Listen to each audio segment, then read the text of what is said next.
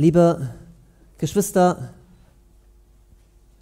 lasst uns tief in unser Herz schauen, unser Herz spüren, untersuchen, durch alle äußeren Krusten der Sünden durchdringen und uns aufrichtig fragen, haben wir ein Streben Allah Ta'ala gegenüber?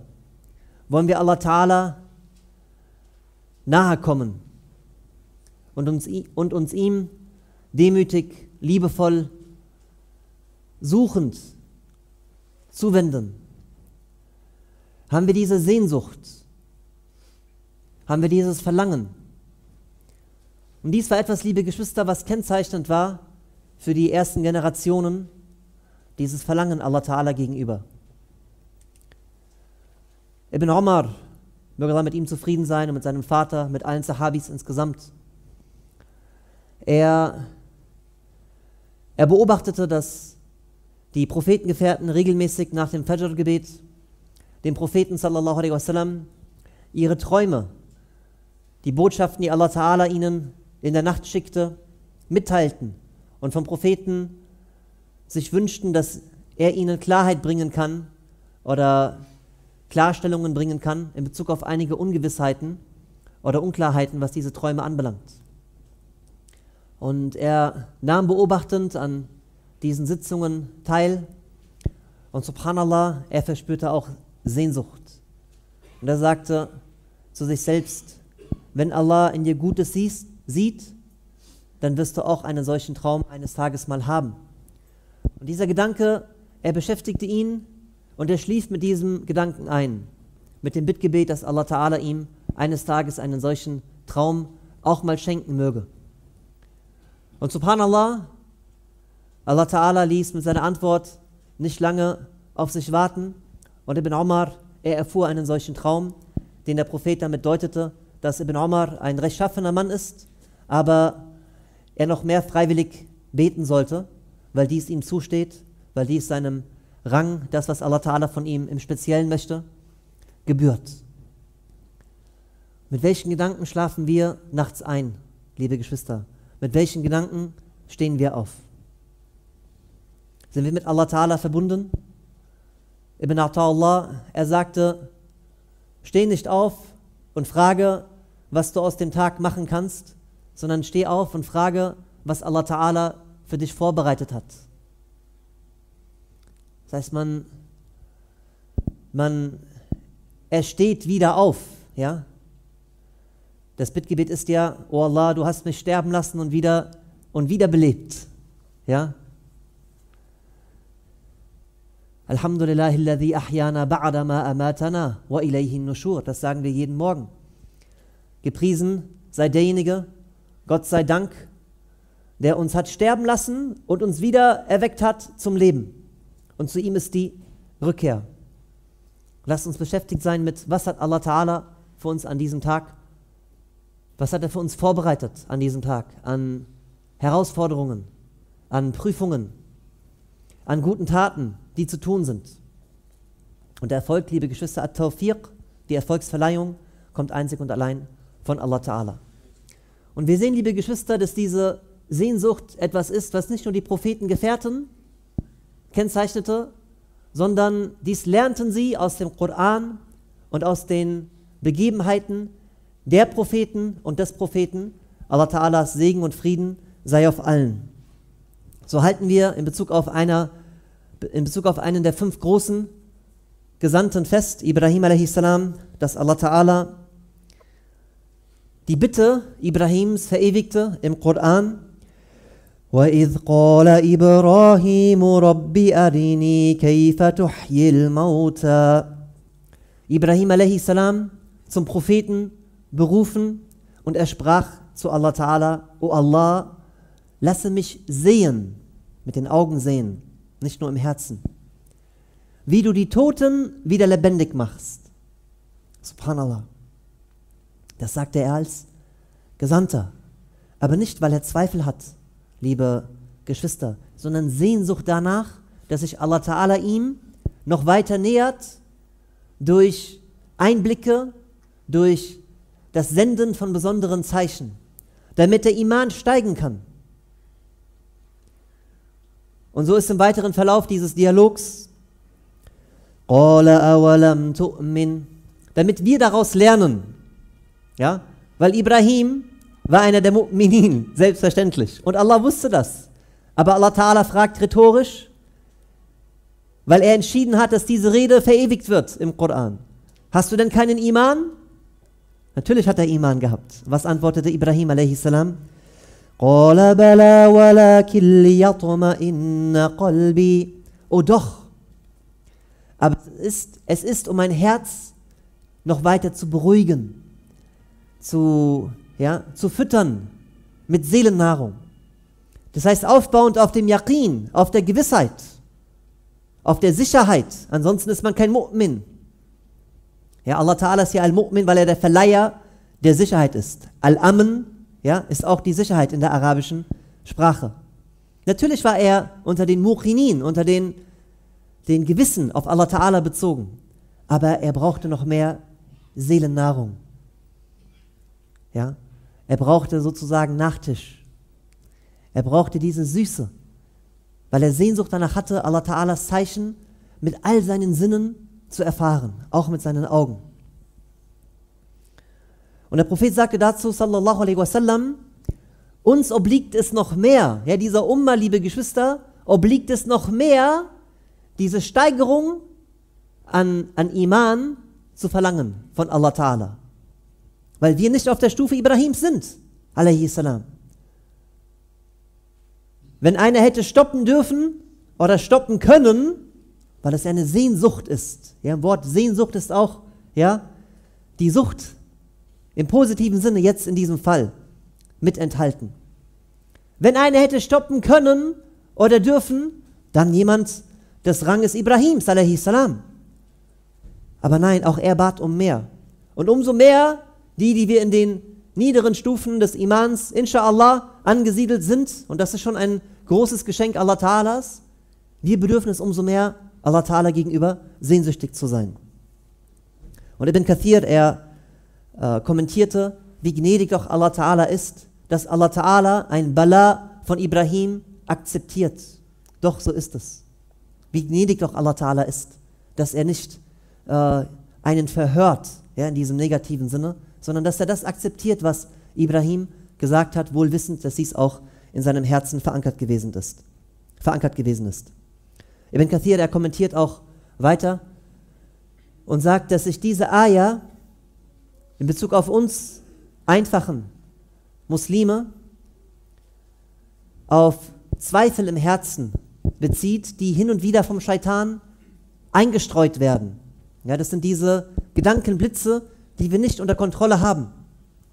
Und um diese besser abzuwehren, müssen wir, liebe Geschwister, immer weiter vorankommen mit unserem Iman. Das heißt, Stillstand, liebe Geschwister, führt langfristig zum Rückstand, zum Rückschritt Stillstand führt zum Rückschritt, weswegen wir uns immer weiter nach vorne bewegen müssen, damit wir nicht zurückfallen. Und subhanallah, dies war die Lieblingsaya Ibn Abbas. Die Prophetengefährten, sie hatten wahre Gespräche. Er diskutierte mit Ahmad ibn al-As. Er sagte, was ist die Ayah im Koran, die dir am meisten Hoffnung gibt?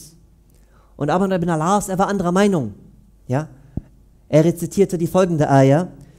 قل يا عبادي الذين أسرفوا على أنفسهم لا تقنطوا من رحمة الله إن الله يغفر الذنوب جميعا إنه هو الغفور Innahu huwal al rahim Sprich, o meine Diener, die ihr gegen euch selbst maßlos gewesen seid.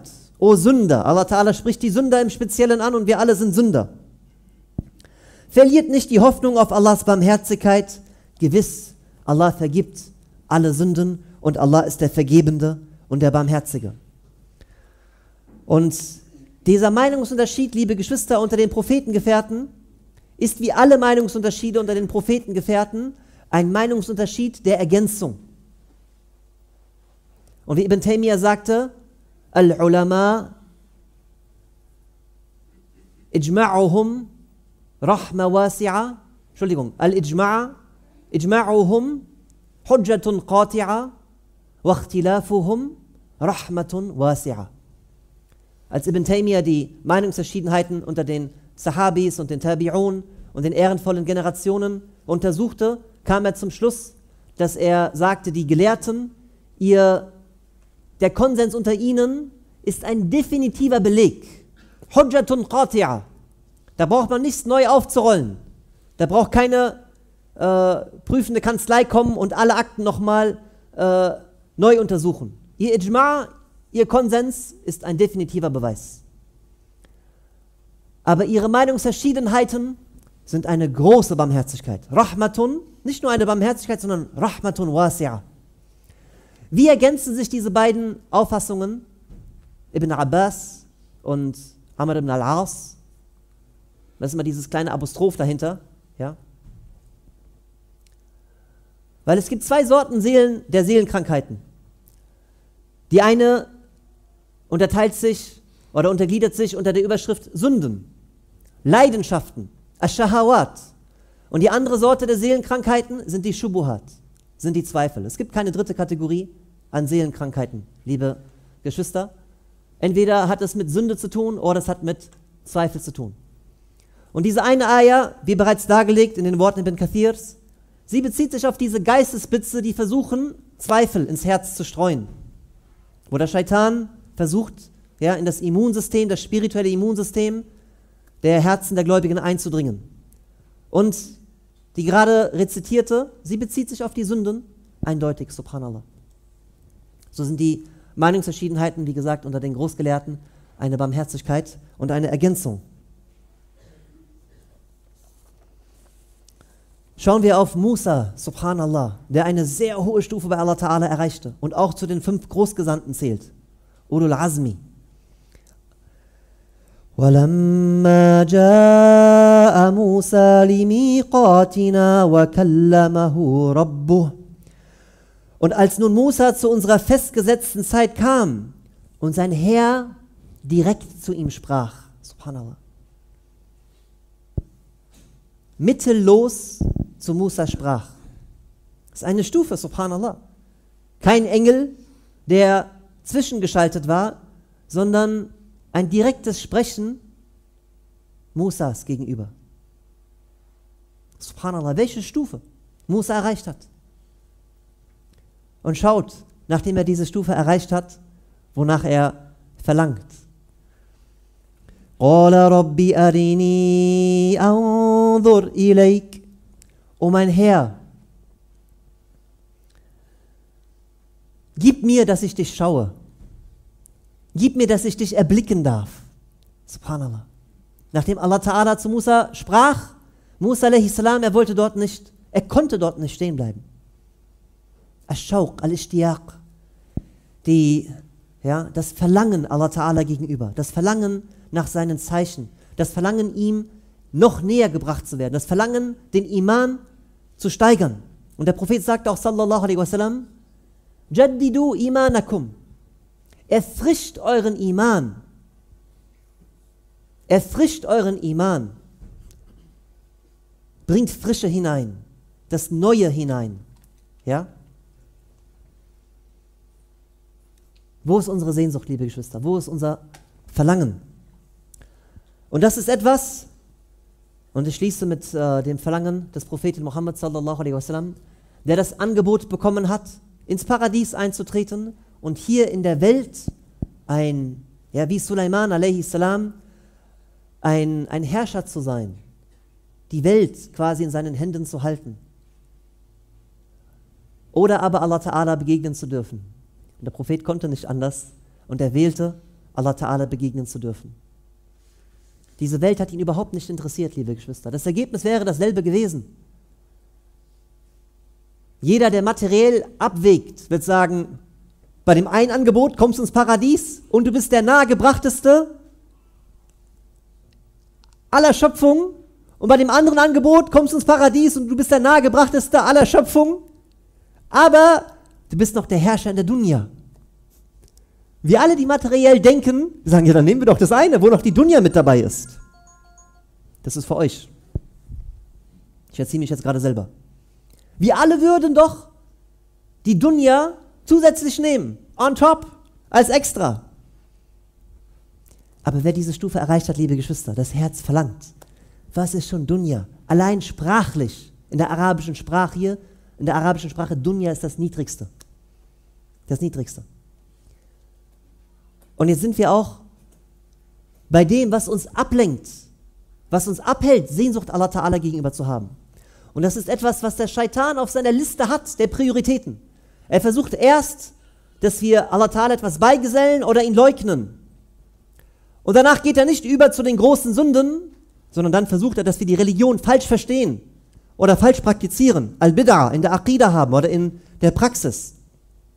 Weil dies noch gefährlicher ist als eine große Sünde, weil von der großen Sünde, derer ist man sich bewusst und man bittet um Vergebung. Aber wenn man die Religion falsch versteht oder falsch praktiziert, man denkt, es ist richtig, man bittet nicht um Vergebung. Und die Bitte an der Aqidah kann auch dazu führen, dass man von Allah meint Dinge, die man nicht meinen darf. Subhanallah. Was sehr gefährlich ist. Und dann macht er weiter, wenn man nicht beigesellt, wenn man nicht leugnet, wenn man nicht die Religion falsch versteht oder falsch praktiziert, mit den großen Sünden. Wenn, wenn der Diener dort nicht gefangen wird, dann versucht er ihn mit den kleinen Sünden zu fangen. Wenn dies nicht möglich ist, dann versucht er ihn mit dem Erlaubten aufzuhalten. Alles erlaubt, aber er, er macht nichts Gutes oder wenig Gutes. Wenn er das nicht schafft, dann versucht er die Prioritäten der guten Taten durcheinander zu bringen, dass man sich immer mit Kleinigkeiten äh, beschäftigt und nicht mit den großen Angelegenheiten. Und wenn er das nicht schafft, dann arbeitet der, arbeitet der Scheitan daran, dass man die Freude an den guten Taten verliert. Weil das dann seine Hoffnung ist, ja, dass man dann weiter die, ja, die Treppe runtersteigt und dann irgendwann man halt weiter unten landet. Das heißt, er arbeitet daran, dass unsere Sehnsucht nicht da ist. Mindestens. Jeder davon ist betroffen. Subhanallah.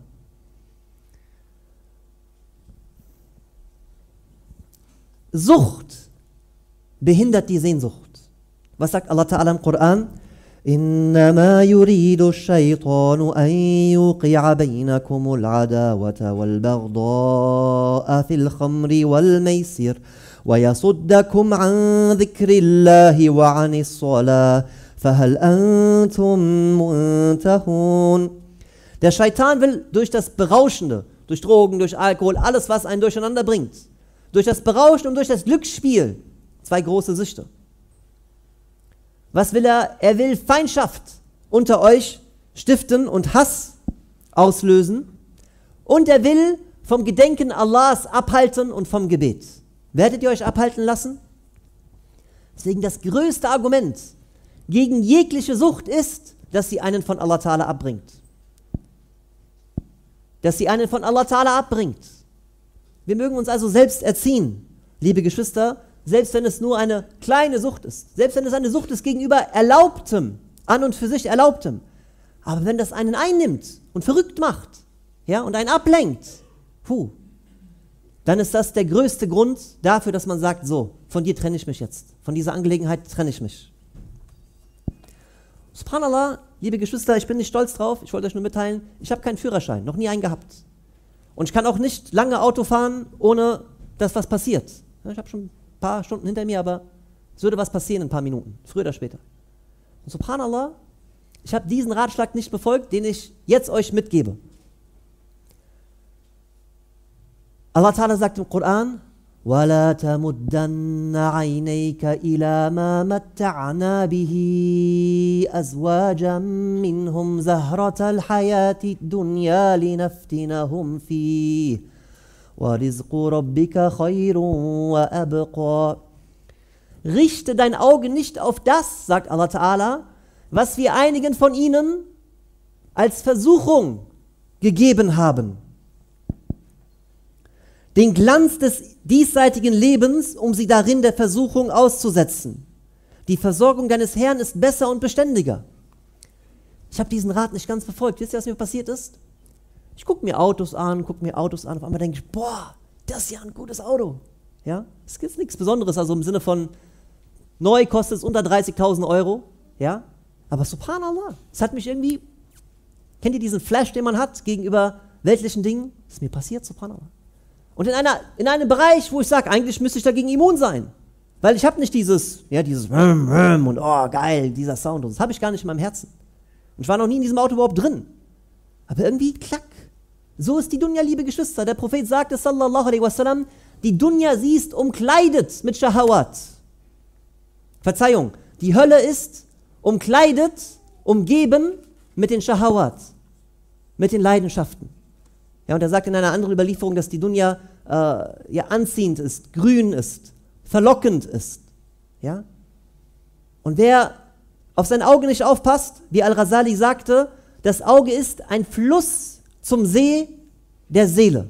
Wer also nicht auf seine Sinne aufpasst, auf das Auge, auf das Ohr, ja, der wird früher oder später in seiner Seele das finden, was die Flüsse in den See, in die Seele hineingetragen haben.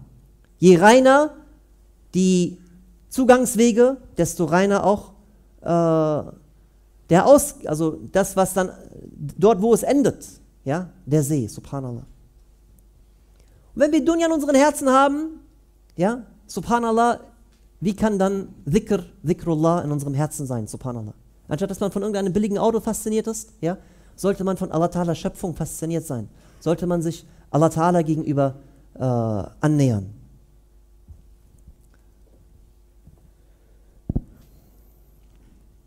Fattaqud dunya und habt Ehrfurcht, hütet euch, was die Dunya anbelangt, sagte der Prophet Muhammad sallallahu alaihi wasallam äh, von Sahih, von, von Imam Muslim, als authentisch befunden. Huffatil jannatu bil makarihi wa huffatin naru bis shahawat. Ja, die, das Paradies ist umgeben von unangenehmen Dingen.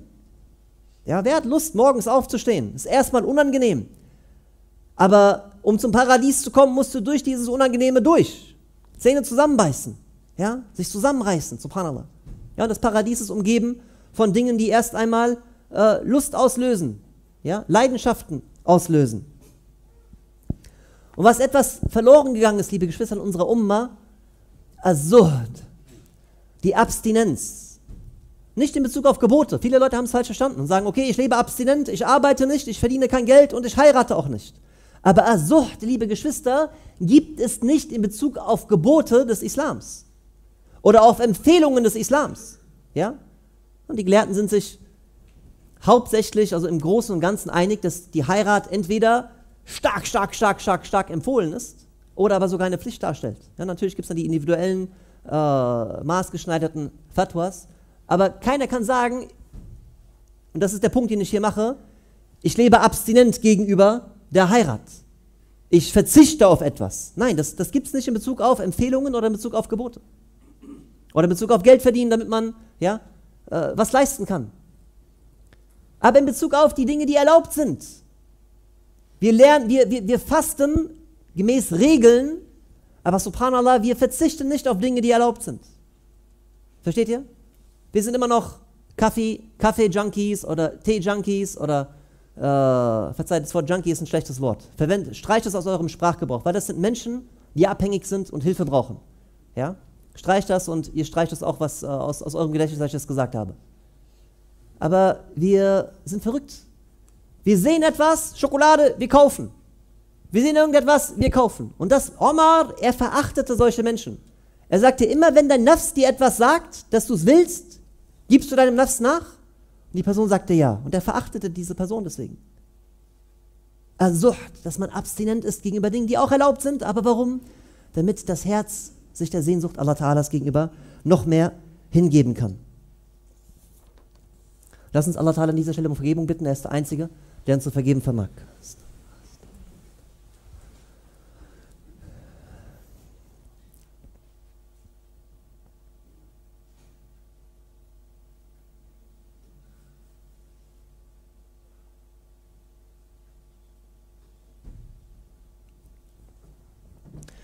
أشهد أن لا إله إلا الله وأشهد أن محمدا عبده ورسوله Liebe Geschwister, wie nähern wir uns Allah Ta'ala gegenüber?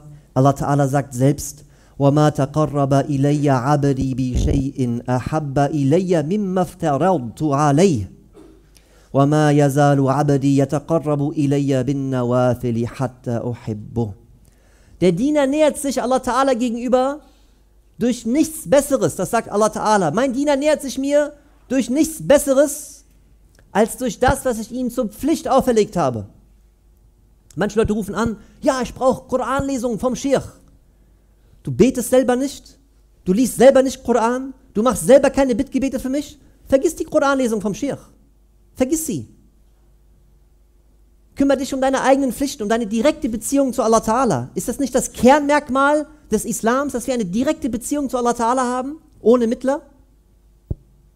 Dass wir uns Allah Ta'ala gegenüber annähern mit den Pflichten, die er uns auferlegt hat und klar gemacht hat. Und danach aufbauen darauf, uns den Freiwilligen noch mehr widmen, um in, der, um in den Stufen des Geliebtseins von Allah Ta'ala noch weiter steigen zu können. Und wenn wir das tun, liebe Geschwister, uns annähern Allah Ta'ala gegenüber, wir sollen jetzt nicht denken, dass das, was wir aus Science-Fiction-Filmen kennen, ja, auf einmal wahr wird und wir Gedanken lesen können und äh, wir die Zukunft voraussehen und äh, ja, seltsame Dinge um uns herum passieren. Das ist für Kinder, ja, dieses Zeug. Die Gelehrten haben gesagt, das, wonach der Muslim streben soll und das, was das größte Wunder auch ist überhaupt, die größte Besonderheit, ein rechtschaffenes Leben. Und Ibn Taymiyyah hat unter anderem auch festgehalten, dass diese Besonderheiten, die ich gerade erwähnt habe, sogar eher die Menschen erreicht, die einen schwachen Iman haben. Weil er verglich diese Besonderheiten, die die Sahabis erlebten, mit den Besonderheiten, die die Tabi'un erlebten und sagte, die Tabi'un haben viel mehr erlebt. Aber warum? Weil sie waren einen kleinen Grad schwächer als die Sahabis. Und es ist der Schwache, der diese besonderen Zeichen braucht. Der Starke, er bittet nur um Rechtschaffenheit. Das ist das größte Wunder. Das, was wir erreichen wollen, unsere Erwartung ist, wenn wir uns Allah Ta'ala gegenüber nähern, dass wir ein rechtschaffenes Leben leben dürfen, als Geschenk Allah Ta'alas. Ich kürze jetzt gerade, ich kürze jetzt gerade zwei Seiten, weil ich an eure Zeit denke, weil das meine Aufgabe ist. Der Prophet sagte, sallallahu alaihi Verzeiht, noch weiter kürzen. Liebe Geschwister, die, die Prophetengefährten und die rechtschaffenen Generationen, sie haben immer Sehnsucht gegenüber den, dem Ramadan gehabt. Ja, wenn er so fünf, sechs Monate zurücklag, haben sie immer wieder an ihn gedacht. So wie wir das kennen als Kinder. Oh, weißt noch damals auf dem Spielplatz, das und das ist passiert. Ja, subhanallah. Und Ramadan kehrt immer wieder und wir denken an ihn zurück. Aber wenn die Zeit zum nächsten Ramadan näher ist, als der Vergangene zurückliegt, dann sagen wir, oh, subhanallah, wann ist wieder Ramadan? Ja, und ungefähr gute zwei Monate, liebe Geschwister, äh, bis der Ramadan wieder da ist. Jetzt ist Zeit spätestens. Ja, die Sahabis haben zur Hälfte des Jahres angefangen, äh, zu, also äh, auf den Ramadan äh, sehnsüchtig äh, zu schauen. Lasst uns sehnsüchtig auf den Ramadan schauen. Aber nicht nur Sehnsucht, ohne Planung, sondern merkt euch die Kalenderwoche 23 und 24. Jeder Muslim muss einen Kalender haben. Weil wenn er keinen Kalender hat, plant der Scheitan für ihn. Aber wenn er einen Kalender hat, dann kann er planen. Merkt euch die 23. und 24. Kalenderwoche. Dort blockt ihr alles. Da sind die letzten zehn Tage drin. Da ist Laylatul Qadr äh, drin. Ja? Erledigt so viel es geht vor Ramadan, damit ihr den Ramadan dann auch richtig äh, genießen könnt. Liebe Geschwister, wir sprachen über Sehnsucht, wir sprachen über die Beispiele äh, von, vom Propheten, von den äh, Propheten, von den Sahabis. Wir sprachen darüber, was die Sehnsucht äh, zu behindern äh, vermag. Wir sprachen über die Ergebnisse, die diese Sehnsucht anzielen sollte, die Ziele. Ähm, und wir, spra wir sprachen über ein Projekt, nämlich Sehnsucht in Bezug auf den Ramadan zu haben. Und die wird sich beweisen. Die wird ein Zeichen haben. Ja? Äh, liebe Ehemänner, ihr wisst, eure Ehefrau glaubt auch nicht, wenn man sagt, ja, ich habe Sehnsucht dir gegenüber gehabt. Ja, und wo, wo, war die SMS? Wo war die Nachricht? Wo ist die Blume? Wo ist das Geschenk? Ja? Und umgekehrt natürlich genauso, liebe Schwestern, äh, wir Männer sind auch nicht so äh, leicht überzeugt. Wir wollen auch gewisse Zeichen sehen. Das ist ganz normal. Und unsere Sehnsucht dem Ramadan gegenüber, liebe Geschwister, den markiert ihr in euren Kalender. Und wenn ihr keinen habt, dann kauft ihr extra einen, nur für Ramadan. Das ist meine Empfehlung an euch und an mich zuallererst.